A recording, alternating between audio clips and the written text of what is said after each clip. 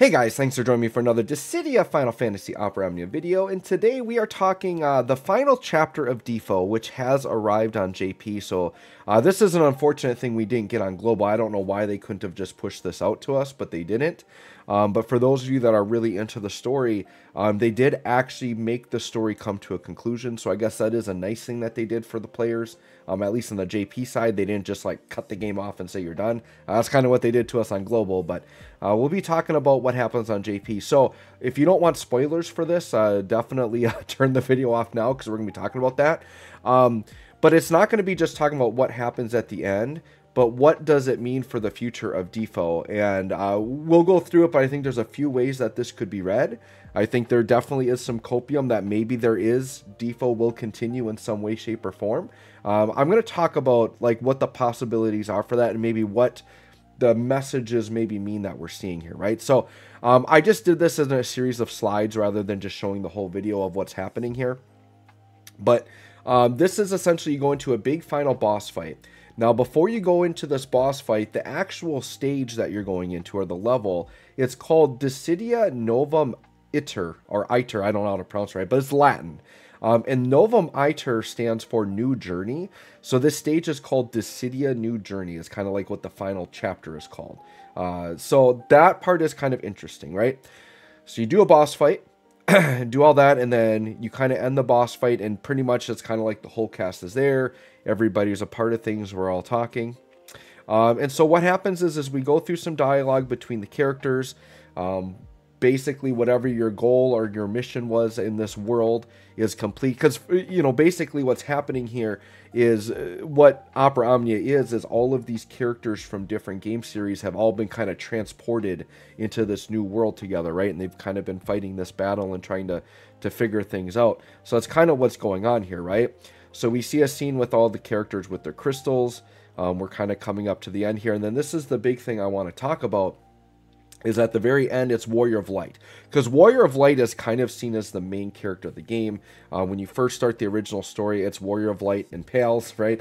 Uh, those first i think is what you start with like six characters. It's like warrior of light rem Vivi couple of those like very very first characters when you start the game. But warrior of light i would say is kind of seen as the main protagonist right? So they're kind of ending this whole story on him. And what happens is, is he comes to a point where he is allowed to make a wish um, and from what I'm told, and I'm going off of translations, right, that I, I found online, um, but they don't actually tell you what his wish is. They just represent it with like dash marks or something. But Warrior of Light makes some type of wish at this point. Um, and then this is the part where it gets interesting is Warrior of Light is then, you know, awakens or revives in this new world with these like falling colored leaves, right? Um, so he's just been transported out. Uh, he's in a new world. And then we get this. This is the thing that's crazy is we get this screenshot right here. Um, and it says their adventures continue. And keep in mind, this is on the JP version of the game. So in English, they give you just this big thing that says their adventures continue. So between the final chapter being called, you know, Dissidia New Journey and this ending where Warrior of Light is seemingly transported to a new world and it says their adventures continue, there's a lot of ways we can read this, right? So, kind of the copium, right, for the people that want more defaults, like this could be a direct lead into a sequel. Like, could they be making the Dissidia Final Fantasy Opera Omnia 2? Uh, that certainly is possible. Um, I don't know that that's the most likely thing, but I think if you want to hold that hope, I mean, that is, it's definitely like saying, like, hey, there is something more happening, right? Um, now, another way that I could read this is that there could just be more games in the Dissidia series, right? The Dissidia is more than just Dissidia Final Fantasy Opera Omnia, right? So they could just do more Dissidia fighting games and say that's the story continuing.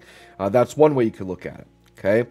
Um, another way you could look at it, and I think the way that I kind of read this, the way I kind of read this ending, it's like I feel like this is showing like all of the characters maybe going back to their own worlds, and that their adventures are going to continue within their own series again or within their own games, right? It's just saying we're going back to what we were doing and our individual adventures are going to continue.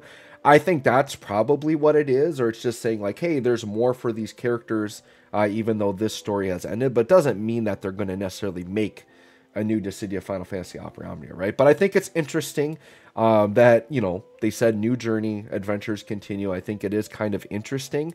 Um, I think it would be really cool if there was a sequel. I know the Sony State of Play is going on right now, but I don't know that they would talk about something like Defo. I feel like they're really focused on Rebirth and stuff right now.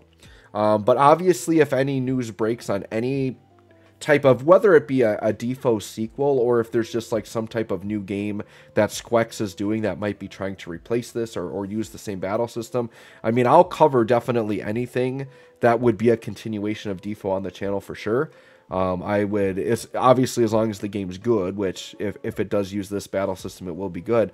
Um, but yeah, it's just really sad that this game is ending because, you know, like I think seeing this, because the thing is, is we've had we've known of end of service for a while. It's still like a month away though, right? Like it still seems like it's not like happening right this second, but seeing this actual final conclusion on the JP side, like that does kind of hit hard for me, right? Like it is really done. Uh, it's not going on, and you know, over here on the global side, we've just got some more dare to defy fights, and that's about it, right? But we don't get this cool story conclusion. So I wish we had gotten this in English. Um, but at least we can watch the the JP version of it. If you guys look up, uh, if you guys want to look it up online, there are people that posted um, the full clear of the boss fight and everything. If you want to see that, I don't have a JP account, otherwise I would gladly do that for you. Um, but yeah, I want you guys in the comments to let me know what your thoughts are, on this. You know, if if if you think people are coping, that you know this just means you know that they think it's going to be a new Dissidia, but definitely doesn't have a chance to do it, or do you think it's a real possibility? Um, you know, do you have a different maybe interpretation of this than what I had. Like I said, I kind of had three interpretations, right? It either means a Defo 2 could be coming, uh, just talking about the Dissidia series in general continuing, or the characters continuing their own stories on their own. And that's what I kind of think it means. But you guys let me know what you think. And by the way, um, we're going to do our big last hurrah stream on the 28th. I just want to promote it a little bit more. So um, I'm thinking it's going to be like 6 p.m. Central Time. When it gets a little bit closer, I'll actually like do up the thumbnail for it and I'll get it posted on my channel. But I hope to see everybody there to uh, celebrate Defo on its last day. Uh, so thanks for watching, everyone. We'll catch y'all on the next one.